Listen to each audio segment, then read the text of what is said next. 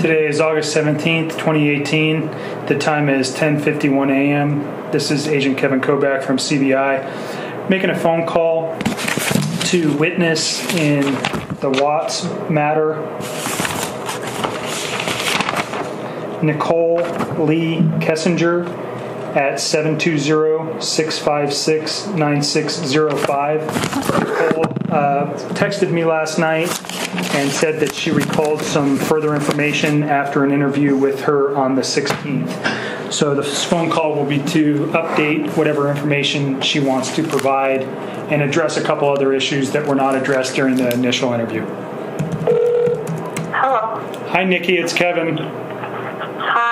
How are you? Sorry, uh, sorry for the delay. I got stuck in a meeting. Obviously, uh, couldn't walk out, so I apologize for taking so long to get back to you. Again, if you need any, if you, if I can put you in touch with somebody from uh, Victim Advocate to whatever I can help you with, just call and ask.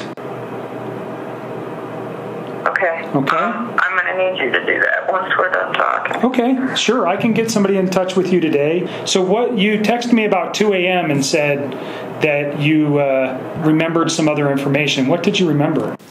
Just for your information, we're at around the two minute mark of this interview.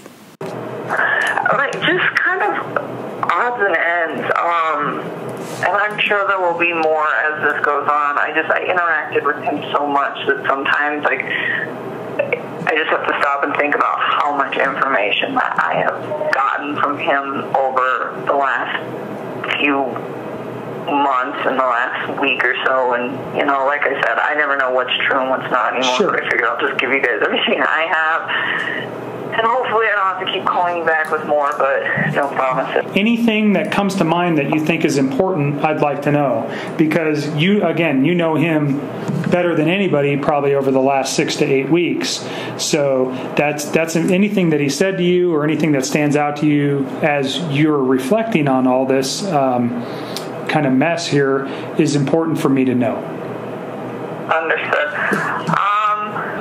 Things. So one, I went back and I tried to like find whatever text you were talking about between my friend Charlotte and me with the eHarmony thing, and I don't know what you're talking about. okay Um, if you and I, I mean, her and I text so much though. So like, if you find it and you show it to me, let me know. But it's just like, I mean, I was on that site, but it was never like worth a damn for me. However, when I was going back through there, I did realize that I had like offhandedly mentioned to her a little bit about Chris. I didn't tell her that I was like how deep the rabbit hole went on that, I guess you could say, but it was kind of vague, and she was asking a lot of questions at that point.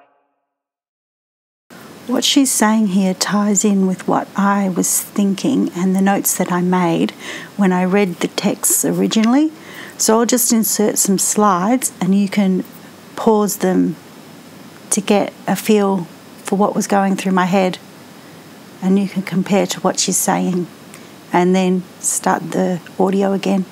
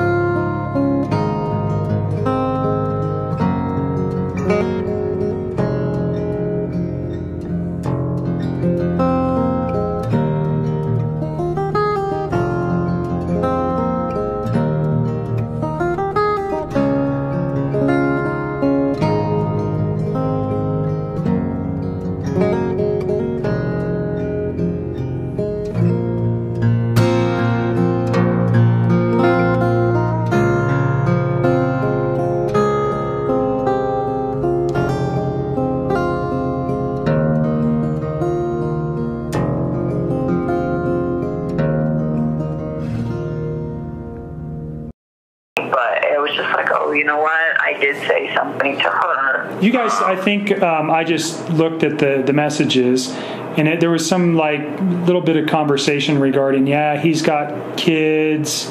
Um, there was some conversations about some sexual related stuff, and that was about it. Does that sound right?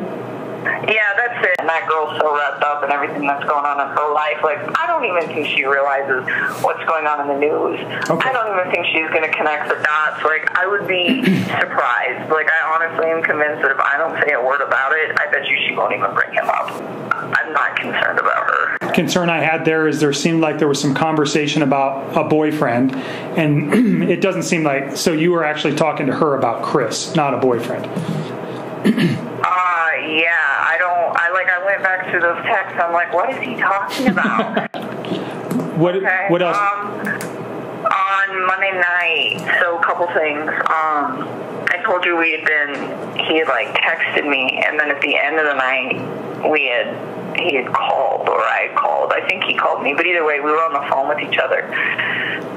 And like part of some, at some point when we were on the phone, he was like, he was like, "Do you want to FaceTime?" And I remember I was laying in bed, and I was and I was just like, "You know what? Okay, let me turn on the light." And I remember I turned on the light, and we FaceTimed. And when we FaceTimed, he didn't really say much. Like it was almost kind of awkward. I don't even know why I didn't think of this earlier, but it was like it was very short too. It was super brief. And I like what? remember What's he short? like- what? What? What is short? Like a couple of minutes or thirty minutes? Oh no, I bet it was only probably like less than five minutes. I think it was only Okay. like a couple of minutes. Okay. And he, I think we we were like talking a little bit, but he like he was laying down on a mattress that didn't have any sheets on it, and um. I was like, okay. So I was thinking, like, well, maybe he's like, he's in bed. I don't know what's up. But I remember asking him, like, where's your sheets, you know? And he's like, he's like, oh, I washed them. And then this is the part I don't remember if this sentence right here came in the FaceTime conversation or if it came in a phone conversation prior to the FaceTime conversation. But I remember he was saying that he was cleaning the house um, to try to keep busy to take his mind off of things. And this was on the phone. And it was kind of late when he was doing it. And like, I didn't honestly think that much about it originally because because I was like, okay, well that's what he does. He just like on his days off, like he organizes his basement or he like cleans his garage. It's just it's what he does. But something that just kind of like dawned on me last night as he made the comment directly after that, he said, I had to wash the kids' sheets. He was like, they smelled. And I was like, was thinking about that last night. I'm like, this man keeps that house so clean. Why would his kids' sheets smell bad? You think this was What? Monday night? What time do you think it was Monday night? I don't even know. I almost wish you guys would show me my phone So. I'm gonna I'm gonna read don't. off your phone calls for Monday and Tuesday. Right. Monday night, you guys had um, we talked about um, a phone call yesterday, but you guys had a phone call Monday night. It looks like he called you. It was 48 minutes and 57 seconds. It was at 9:48 p.m. that he called you. Um, so that would take us to about 10:35. And then there's another call on Monday. It's for 51 minutes and 25 seconds. It looks like I'm not sure looking at this who called who, but it looks like you called him, and that was at 11:09 p.m. That lasted 51 minutes, so that takes us to um, midnight. And then there's another phone call where he calls you. So we're now into midnight, you know, Tuesday morning. It's a 30 minute phone call um, that lasts until 12:38 a.m. And then after 12:38 a.m., there's a two minute and 44 second phone call that lasts for, or pardon me, that starts at 1:12 a.m. It's two minutes and 44 seconds. So Yeah, response. This is just me, but I would go get my text messages with him from that night and I would like sync them up to that like time frame because Okay. there was texting in between that. So I think what happened is he called me on that first call and then there's that gap between the first call and the second call. In in that gap, that was when I we FaceTime for a few minutes and that was when I got up out of bed because I was just having trouble sleeping and I was like I went and did laundry. That's what I did. I went and, like put some clothes. I just put some clothes in the dryer, and then I think I called him back, and then we continued to talk. So that little gap right there between those two big phone calls at the very beginning of the night. Yes. I mean, not the very beginning of the night, but the like the big big ones at the the, the first two. So in between that gap, there's a there's like a quick FaceTime. So do you think that two minute and forty four second is the FaceTime? the one at the very end? Yeah. Well, so there's No, there's I don't. I don't. I don't. I I don't. I don't even think the FaceTime's on there. Okay, because the so- FaceTime occurred in between those two big phone calls. That Okay. like no. there's a few more calls on Tuesday. So 112 is the two minute and 44 second call. That so that lasts till um, approximately 114, and then there's a long gap uh, until 150. So another 45 or 35 minutes, and then there's a seven minute phone call. That phone call lasts Yeah. till 158 a.m. and then there's a 10 second phone call at 207 a.m.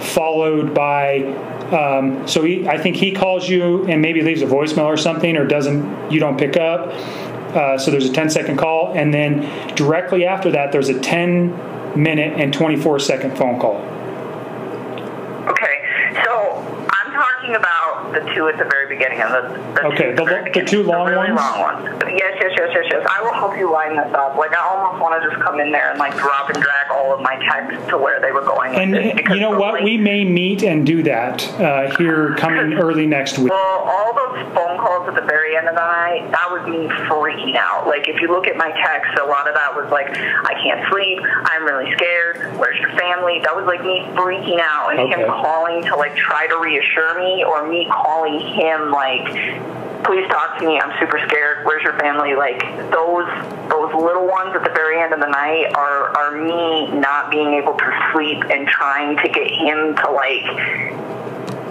talk to me about like and just I guess making sure everything was okay. So that those those like real late ones, and that's why they're all kind of like sporadic. Because I'd be up for like an hour, and then I'd fall asleep for like 15 minutes, and then I would like wake up and start stressing again and try to call them back. Like so, that's why there are all these like little sporadic ones throughout the end of the night. But those two big ones, Is, is, so yesterday we talked about Tuesday was mainly text messages regarding um, your confrontation about his wife being pregnant.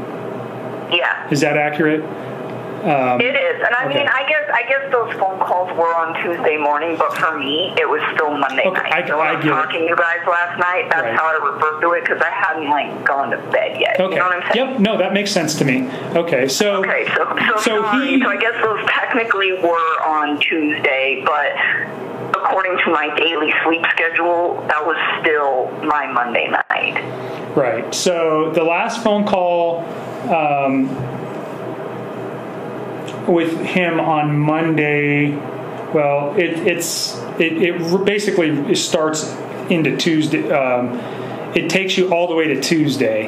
It actually Okay. ends like basically at midnight on Monday, August 31st. So Okay. um, his wife gets home sometime at about t- two o'clock on um, that morning.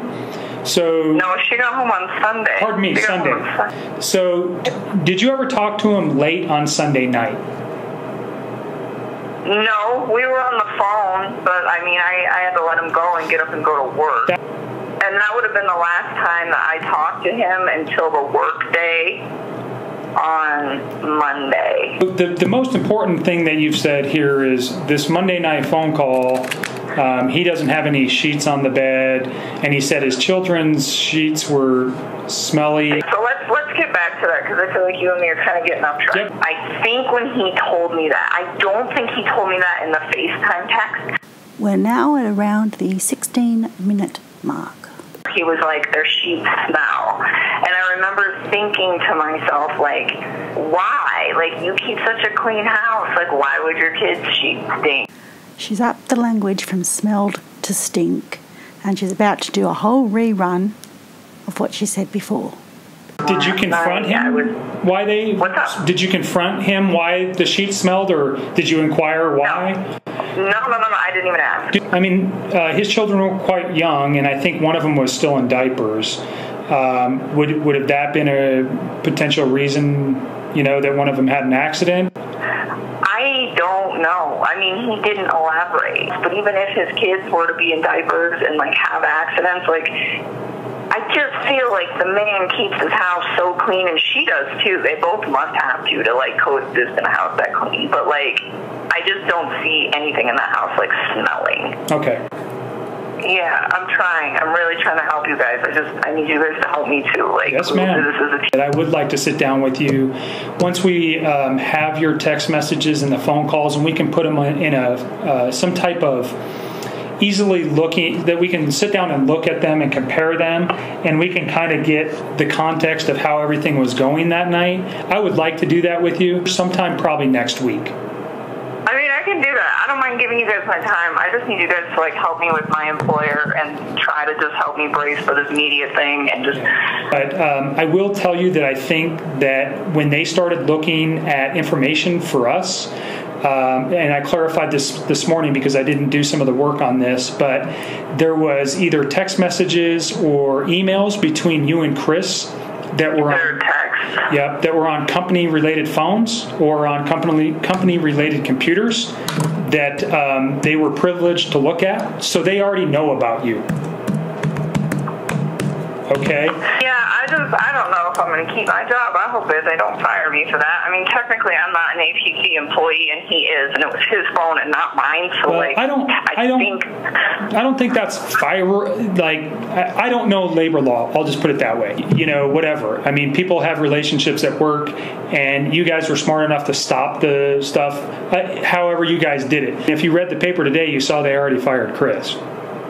I mean, that, Oh yeah, well as they should, that- but right. I'm hoping they're not going to fire me. Well, and. I think you need to. If it was me, and this is just a personal, this is not a professional opinion. It's a personal opinion because I'm trying to help you as much as I can. I want you to make sure that you're comfortable and safe in everything that's happening. Okay. Okay. So um, let me do yeah, that. and we can. Uh, Uh, we can. I go ahead. No, I have a couple more questions that don't relate to anything that we just talked about. Is there anything else that you remembered last night that you want to address?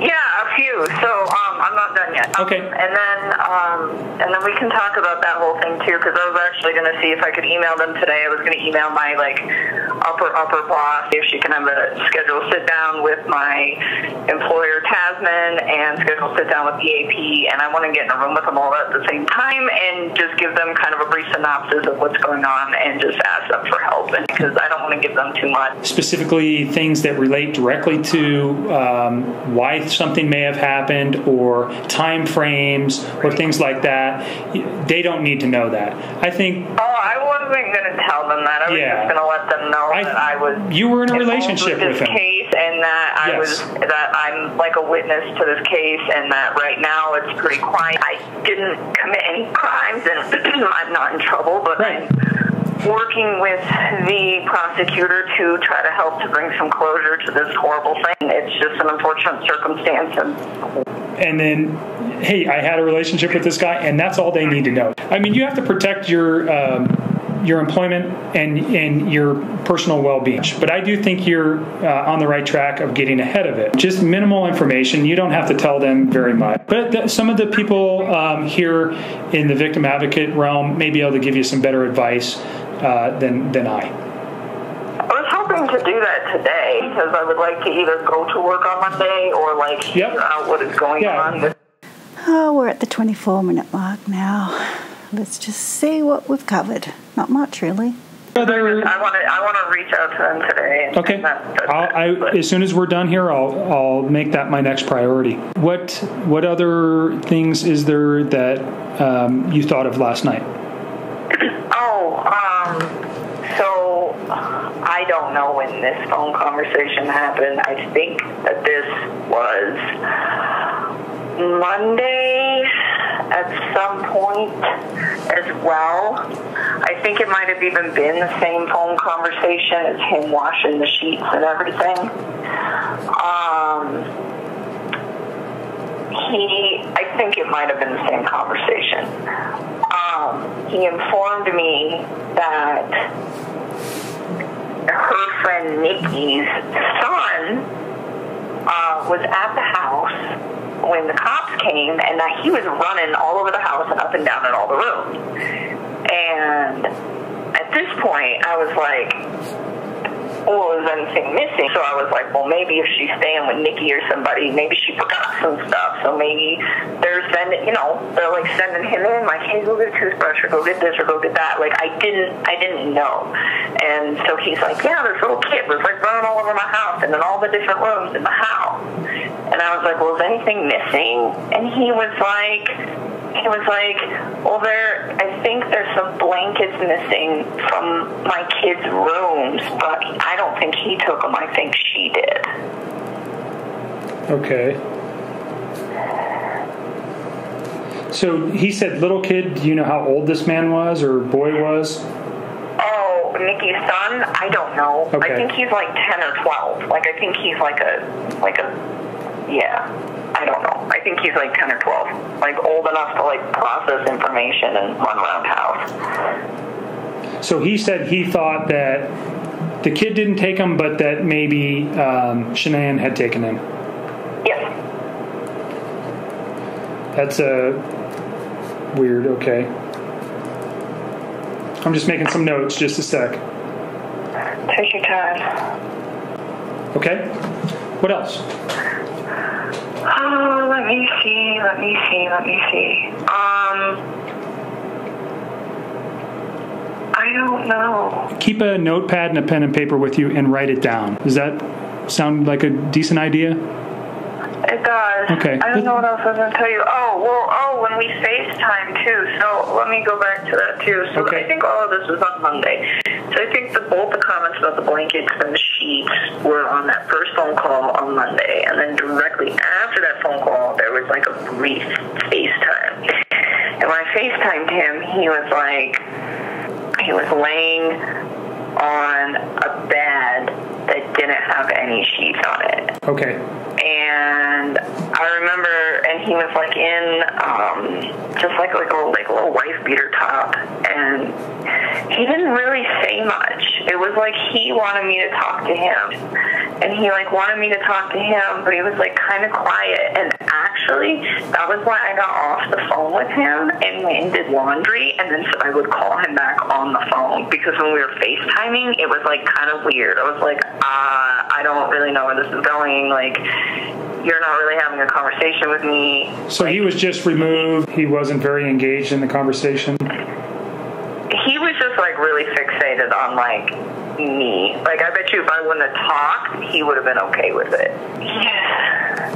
I mean, it was just like it was really brief too. Like it was su- super short, and I was just like, "This is not going anywhere." And I remember telling him like, "I will call you back, let me go do some laundry." So I like got out of bed and went and threw some clothes in the dryer that I had forgot to put in the dryer prior to laying down. And then um, I don't know. I think I might have did like one or two other little quick things, and then I got back in bed and then called him back on the phone, and that's when that second long phone call started. Okay. All right. Great. Anything else? Um, off the top of my head, I don't. I don't really think. There endeth 30 minutes of drivel.